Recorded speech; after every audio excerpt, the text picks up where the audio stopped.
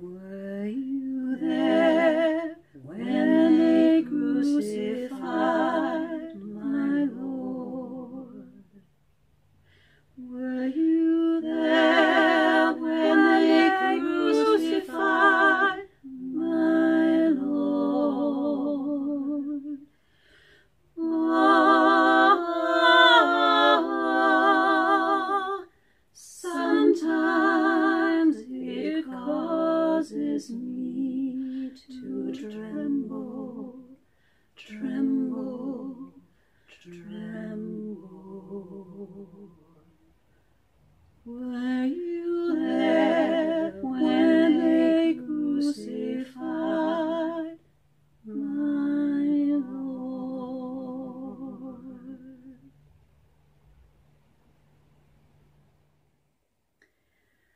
Friday is complicated.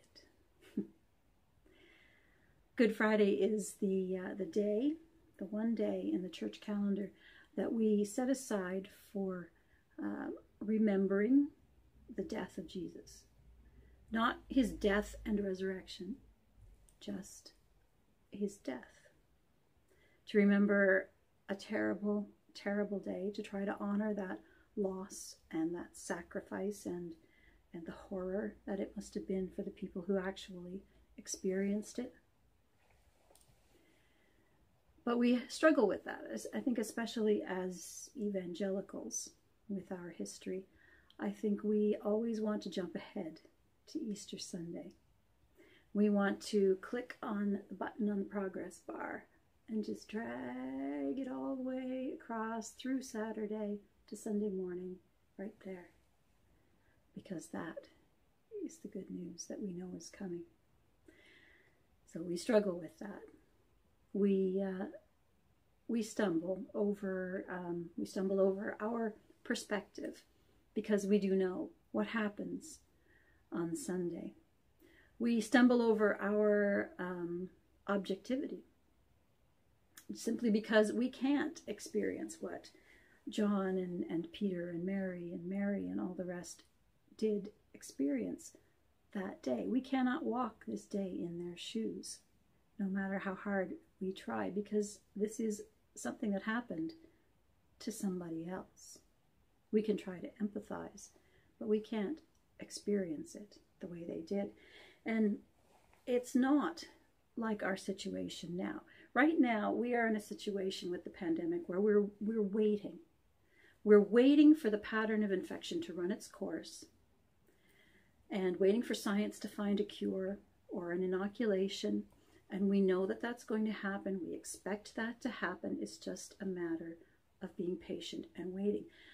But John and Peter and Mary and Mary and the rest, they were not waiting. They had nothing to wait for because it was over. They had no expectancy, no anticipation. They weren't being patient because there was nothing to come.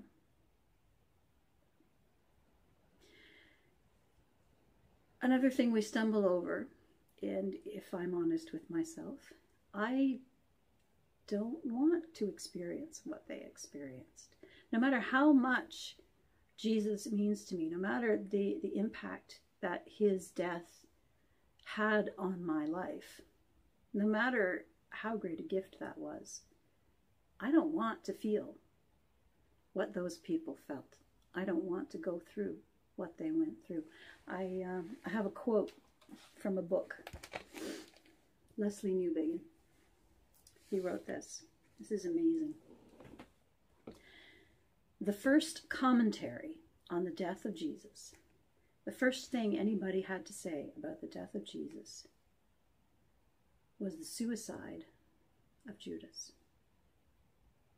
If the cross were the last word in God's self revelation, then this first commentary would be the only possible one. If all humankind, even its best representatives, is exposed here as one murderous treason against its creator, what future is there but death?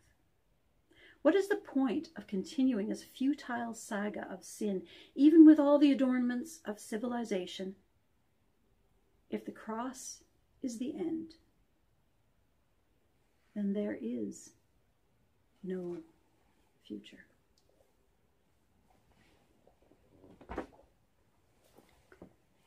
So, what do we do with Good Friday? I find it helpful to uh, to come to the day with one simple, clear focus, one clear understanding, not focusing on the when or the where or the what or the how or even the why, but to focus simply on Jesus. Jesus, the man who lived his life and died his death for us and for all of his world. Jesus, our God, who came to find us so that we could be with him. Jesus, the image of the invisible God, the firstborn over all creation, for everything was created by him in heaven and earth, the visible and the invisible, whether thrones or dominions or rulers or authorities, all things have been created through him and for him. He is before all things, and by him all things hold together. He's also the head of the body of the church. He's the beginning, the firstborn from the dead, so that he might come to have first place in everything. For God was pleased to have all his fullness dwell in him, and through him to reconcile everything to himself by making peace through the blood of his cross, whether things on earth or things in heaven.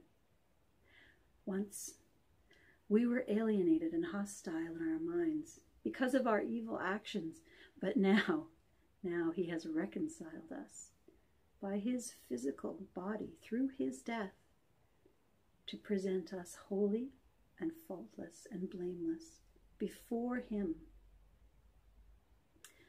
I'm going to go to the piano and sing a song. And uh, I hope that you will click on the link that will be up here. That'll take you to the video.